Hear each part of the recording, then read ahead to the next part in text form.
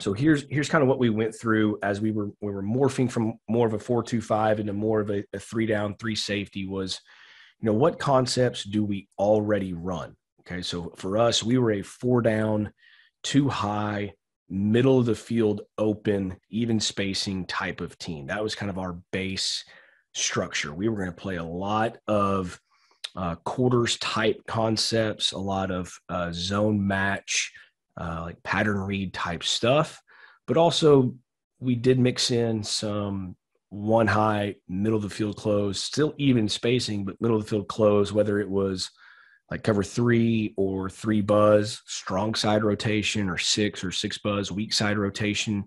We had some ways to get to some one high concepts.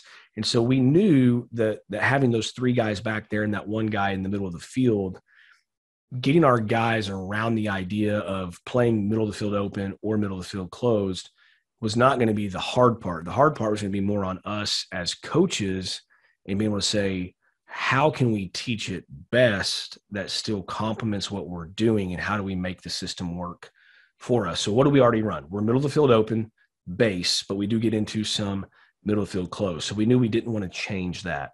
So then it was, well, what translates? How do we how do we how do we manipulate the bodies on the field that gives us the most carryover for the least amount of investment? I think everybody would agree with the idea that I want to get the highest return on my investment with the lowest amount of deposit, you know, or lowest amount of of actual uh, investment up front. I want a lot of returns and a little investment. That's like everything else in life. I want probably the most I can get out of something for the easiest or lightest amount of investment.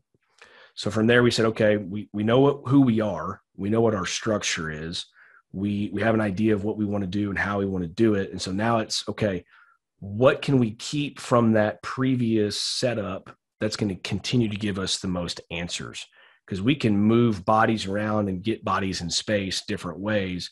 What gives us the most answers and what helps put our guys in the best places to make plays because ultimately that's what it is. We're, we're utilizing a system, an ideology, a structure to put kids in a position to where when the ball is snapped, they have been coached and trained to play at the highest level they can possibly play with the idea that that is going to give them the opportunity to make the most amount of plays. So that's kind of how we went through that structure and through that process of kind of pruning down um, what we like. So, so